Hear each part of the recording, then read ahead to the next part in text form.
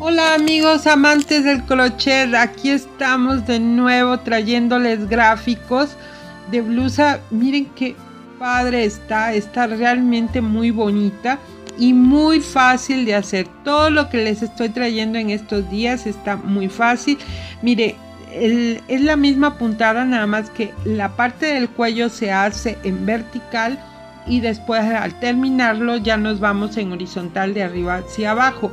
Esta es la puntada base, no tiene nada en especial, no tiene ningún problema, son puros arquitos y puntos bajos, así que no hay ningún problema. Ahí está cómo nos vamos así en vertical a lo largo de nuestro ancho de hombros y todo lo largo hasta debajo de la sisa.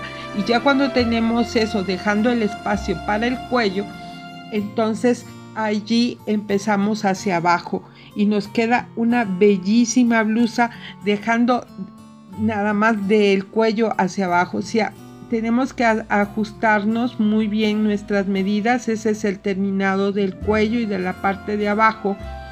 Y eh, en cuanto al modelo, mire, no lo vamos a hacer en recto, sino que vamos a ir haciendo ciertas disminuciones a fin de que nos quede así como en B una parte más arriba este, en donde queda el cuello y otra y la parte hasta abajo del, de la sisa.